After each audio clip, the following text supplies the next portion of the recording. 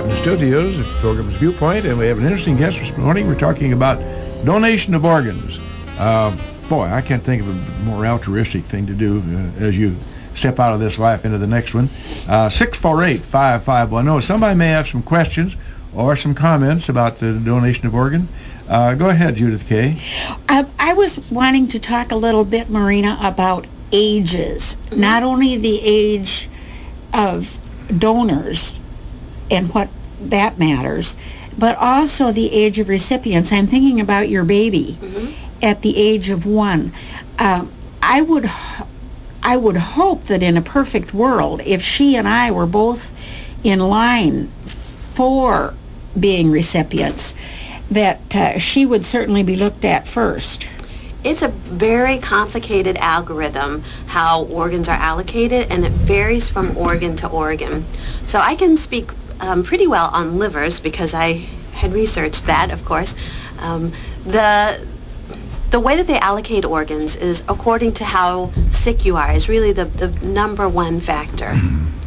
But there is, so if you have two, if it were you and my daughter, and you guys, you two both had exactly the same terrible lab values that said, gosh, this is a, a person who is really sick, um, then if yours were slightly worse, you would be ahead of her in line, with one exception, and that's if there's a pediatric donor. So if somebody, if, if a child dies, then they do give preference to children who are waiting. So that's the one area where she would just uh, move ahead of you even if her labs were slightly better than your labs. And then it also matters how close you are to the donor. Um, so, Ye- well, and of course blood type has to match, you know, all the factors being equal. Right. But all things being equal, Mm-hmm. could I say, oh, gee whiz, don't, that'd be absolutely folly to take me ahead of this infant. You know, it's it's tricky because they do try to make sure that the allocation of organs is as fair and as non-biased as possible. So they do give pediatric recipients an advantage in when there's a pediatric donor. But it's it's tough. It's really tough. I mean, there, there's a whole medical ethics board that's set up to determine how that waiting list is going to be ordered. So yeah, I mean, it, it could it could happen if you were just slightly sicker, um, and it was an, an adult donor. Morena, is there an organ bank like we have a blood bank? No, No. no, because I- I organs don't wondered about how survive that that, long. work. So there's an eye bank.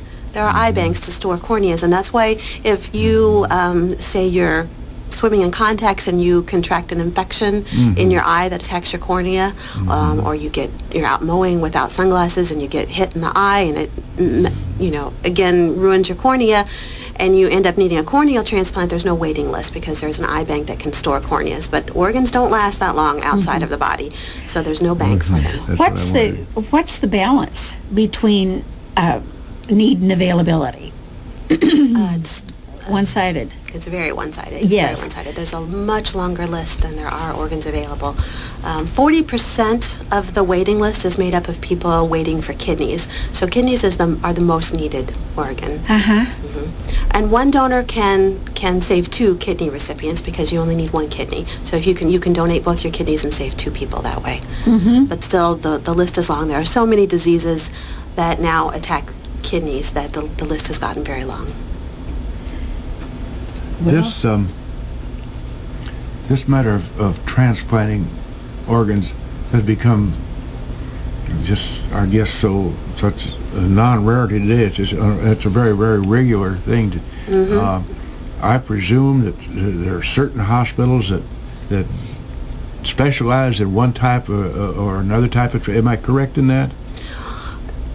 Well, yeah. I mean, the the larger hospitals probably do transplants of, of all sorts, but but yeah, it's not it's not something that a lot of smaller hospitals are, are doing because that's a pretty um, that's a pretty intensive procedure plus all the follow up that goes up with the, the patients to make sure that their organs survive and this gift that's been given to them um, is is able to last for a very long time. So theoretically, my daughter could live with this liver for the rest of her life. Is there In a uh, perfect world. excuse In a perfect go world, ahead. yes. I love perfect worlds, though. Uh, what about tissue donation? Is Mm-hmm. is that a newer technology than than other organ donations? No, I think I I think that's been around longer. I was surprised. I'm not a real expert on tissue or um, cornea transplants, but I was surprised to learn how long tissue and cornea transplants have been being performed. A lot longer than I had thought that they had been. Organ organs? organ transplants um, in, is is relatively new. Are tissue uh, transplant donators hard to come by? You don't hear it.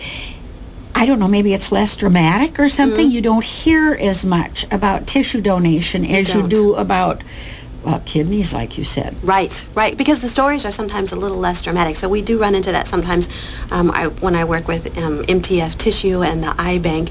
So it's important for them to also be included in these stories because people tend to think of, of only donating organs, and that's not all that you can donate. In fact, a lot of the tissue that's being donated right now, I have been told, has been going overseas um, for um, the military hospitals. Sure.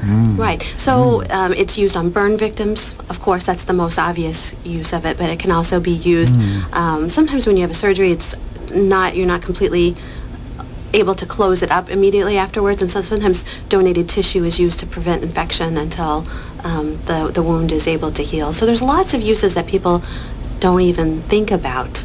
Um, Well, and it's important to know know. that when you donate tissue too, you're not like being skinned down to your muscle. People tend to think of that. But the, the skin is removed just from your back, so you can still have an open casket funeral. And the, the layers of skin that are removed are sort of like a sunburn, if you've ever peeled after a sunburn. So they'll take several layers of skin off, um, and it'll be only on your, it'll be in, in places that are non-visible. So if you want to have an open casket funeral, you still can. Sometimes people, I think, are okay with the idea of their organs being taken out, but get a little um, uncomfortable with the notion of removing tissue. And it's not, I think it is not as, as uh, grisly as people tend to think that it's going to be. Well, you you think about flaying, you know, in right. the days of the. Romans or Right. something. No, and it's not. And you know, and then occasionally you'll have these movies where people will have complete eyes transplanted into somebody else's head, and that's not the way that it goes either. The cornea is just that very thin lens on the very top of your eye, sort of like the thickness of a contact lens is how it's been described to me. Um, so it's not as if you know, you'll be somebody else's eyes. Uh, will be will be walking down the street and you'll see your sister's eyes in somebody else's head and have a moment of terror. No, that's not the way that that goes Deja either. vu or yes, something. yes. Boy, if they got my tissue, it'd be only good for a saddle somewhere. oh, Dear. pretty, pretty, pretty weathery by now. Bill. Uh, seriously. so you better break out the moisturizer. with respect to, to transplants, um, is there one, is there one, settle down now, is there one type of organ that is used more prevalently insofar as your knowledge is concerned? Well, do you mean that is most successfully taken out of donors that survives? I think it would be kidneys, but I'm don't quote me on that one. Um, so all all of the organs are needed. The list is long for all of the organs. Um, there are kidneys is the one are, are the organ that is most needed though. That's the one that most people are waiting for. The one that I've heard of very rarely and think is absolutely beyond a miracle Mhm. is heart and lung. Right, right. I can't, uh, I mean, this is beyond my kin, let me tell you. Mm-hmm. Mm-hmm. And, and the- you know, one of the problems with transplanting those organs are that they are some of the ones that last least longest outside of the body. So sometimes someone will donate and by the time it gets to the recipient, the, mm-hmm. the organ has been damaged. Yeah. So they have been, I have just heard on the news that they have just developed a technique that allows the, org, the, the lungs to actually keep breathing, keep pumping blood while they're being transported. I and saw that's that. going to be so fantastic because it's, you know, how sad to, to donate them and then uh, have them arrive and then it doesn't work. And as a recipient, the, the hope that you feel having been called in to say, we've got an organ for you, and you drive in, and then you get all ready for surgery, and then they arrive, and then, oh, it's not good. So Yeah. I'm so happy that they have developed this new technique. It's going to increase increase the it reduce the waiting list because more donated organs are going to be able to go Right. to people. who are waiting. Do you think that uh, that the idea of keeping all the organs alive will come to pass?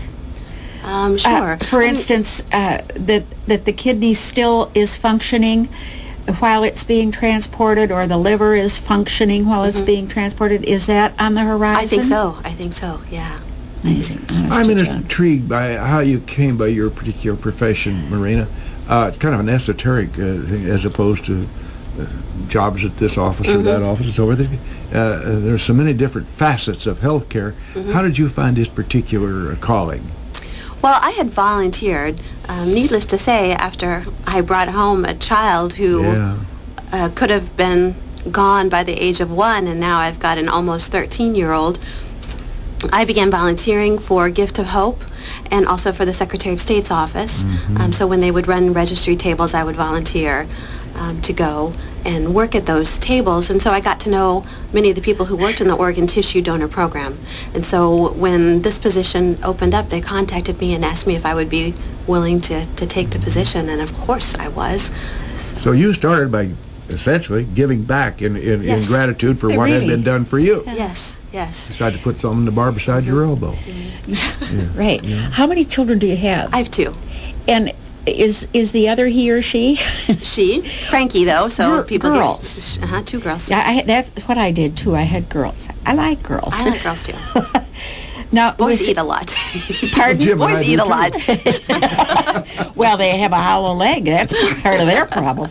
Um, d- did, sh- did were you afraid when the other child was being born that oh dear I hope everything's uh, that's your first thought normally as you're having a child anyway is please that she's okay. yes. No, I mean I was worried that something something else would go wrong, having had sort of a, an unusual thing go wrong with our first child. But we knew for sure that biliary atresia, her disease, is, is absolutely not genetic.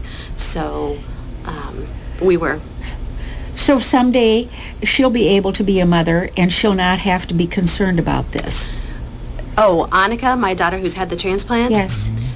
Yes, yes, she should be able to. Um, it's, you know, pediatric liver transplants are still relatively new. So I, I know um, a woman in Minnesota who has had her transplant. She was transplanted as a child, and she's had her transplant for some 25 years now. Um, although she has not had children yet. So there's some, I, you know, I don't know exactly how how that works. I'm not sure if they all know exactly how it works. Um, if, because she's on medicines for the rest of her life. So I'm not sure how those medicines agree with pregnancy, although I do know a liver transplant recipient who did successfully have a baby after her transplant. So theoretically possible, but it's still sort of a up in the air question. There's a plethora of medicine to be taken the rest of mm-hmm. your life if you're Yes. a transplant recipient. Yes. They are pioneering studies as well, though, so that recipients no longer have to take those immunosuppressive medicines. Um, so some kids at Children's, well, Lurie, now Lurie Children's in Chicago, have been part of a pilot study that has been reducing their immunosuppression to see how low they can take it without causing rejection. And some kids actually turn out can completely go off of those meds. But it depends upon how your body um, is reacting to the liver and what sort of state your immune system is in, whether your immune system is sort of hyperactive and will tend to go after that new liver or whether it's a laid-back immune system. Would the You're- being without the medicine be more apt to happen to someone who's younger as opposed to older? that I don't know. I th- you would think that that would be right. That sort of makes sense from a practice, but that's a medical question that I really wouldn't know the answer to. Does your daughter still have to take medication? Absolutely. And will she continually through her life as a result of this? Mhm. Yes, Uh-huh. yes. You know, and she is not allowed to do these studies because she's had three liver transplants. So they're not they're not taking any chances with this Yeah, liver absolutely. at all because they do not want her to have to be transplanted again because three transplants is a lot, especially when you know that you've got a waiting list of people waiting. So she's been transplanted three times. They they Now, keep her on a pretty steady medication. Frequently or regularly for uh, for exams? She's gone down now just to annual exams, which is Uh-huh. wonderful. Like the rest of the world. That's right. Uh-huh. She does labs much more frequently than that. So they monitor her and make sure her liver is happy. But as long as her liver is happy according to the lab values, they just see her once a year. But other than not playing professional football. Yes. And taking Which was a blow. Well, make, a, make a musician out of her. yeah. Or or take and and taking her medicines all the time. Mm-hmm. Really, there's no difference between her and anybody else who's in the sixth or seventh grade. There is not. There is not. And you know, you tend to think of, of them being very delicate and fragile. And I know I thought of her that way when I first brought her back home. But I was shocked with this last uh, tummy bug season that we won't go into any details there. But I will tell you that mine lasted three times as long as hers did. So evidently her immune system is perfectly capable of fighting things off better than my old 42-year-old system is. In your experience in this profession, uh, have there any are there any unusual incidents that, that you can recount right now that uh, might be of, of interest to anybody? Unusual incidents in I'm just wondering if there are any particular cases that come to mind real quickly that were unusual. and That turned- Miracles. Mhm. yeah, for something to better say. Yeah. I know. Well, you know, almost every single story that you hear of involving kids and transplants, there is that air of miracle about it because you are sitting there thinking, uh, you know, how has this happened and how will I ever get through? And, and you cannot help but imagine what your life is going to be like as a parent who's lost a child. And I in, waiting in the hospital, met several parents whose children did not make it, and so you have almost this. You you can feel it, you can see it, you you almost are are living it in your head before it happens. So when your child does somehow make it through, you get that call, somebody has donated um, an organ that's going to save your child's life. You are just flat on the floor, feeling that weight that you've been carrying around just lifting off of you. And that's the same experience I've heard from every single parent who has been waiting um, for their child to be saved by an organ donor. So almost every single story has that air of, wow, I, I can't believe that happened. I can't believe this child is here running around in front of me. It would be, I would think, a religious experience. It is. It is. Most certainly. It is. You know, you had an infant that received an organ going to the other end of the spectrum. Is there a cutoff point in our- in our lives when you, science can say, oh, I don't think we ought to give them, or he or she, uh, is there, is there a limit? I don't know that there's an, an absolute limit that's set across the board. I know every single hospital has to evaluate a patient who's going to be put onto the waiting list mm-hmm. to make sure that they are in good enough health that if an organ is donated to them, that they would be able to accept that organ and use it. And I don't know that there's some sort of cutoff that says, okay, now at, at this point, I think it's up to the hospital on a case-by-case Well, it basis. seems There's like no if we were rules. able to reason, if we were able to reason, most of us in geriatric category would say, well, let's get that, let's, let's, let's a younger person have, have that, Mm-hmm. as opposed to, it seems, it just seems, might be a little selfish to take Mm-hmm. a, a good organ when somebody down the road, uh, uh, younger, much younger, could use it. Right. My neighbor, that when I moved into my new house, her brother received a, a liver transplant when he was either late 50s, early 60s. Well, And, that's a kid. and yeah, but yeah, you it know, depends on which end you're looking at it from. yeah, and, but he did. He, he kept that liver for some 20 years. And that's a long time. That 20 years is nothing to sneeze at. True. So, yeah. Before the old clock on the wall throws us out of here And it just yet did. again, well, it's it's going to have to be a little patient, Jim, sweetie, sweetie.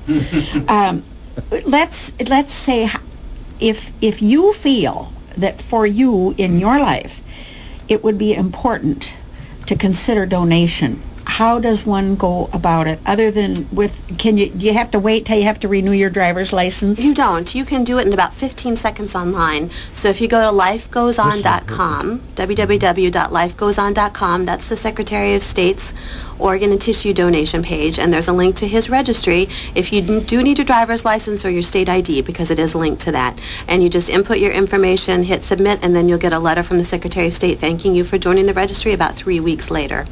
You can also, though, go into any driver's facility or you can also just call the, the program itself. So, but online is so easy to do. Um, Judith made a good point. The uh, website then, lifegoeson.com. lifegoeson.com. It's very simple to remember. Uh, Morena, do you think, have I got that correction? No. Mhm, you have, uh-huh. Okay. Um, thank you very much for being with us and Thanks spending so your time this morning, driving down from Normal. Um beautiful ride in the country. Not so this morning. Mm-hmm. We're great. We appreciate your presence. Um, that's a very, very important subject and something that we don't normally think about. In the matters of health, I came across this saying, be careful of reading health books. You could die of a misprint. Thank you, Morena, for being with us this morning.